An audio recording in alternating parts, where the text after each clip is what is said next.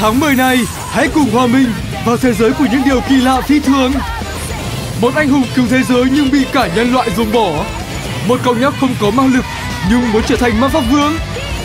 Một lâu đài không bao giờ ngủ. Một đứa trẻ chào đời từ ngày mẹ đã mất.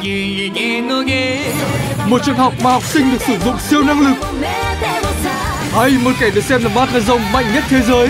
Đó xem là phim Những điều phi thường tháng 10 này trên Animax.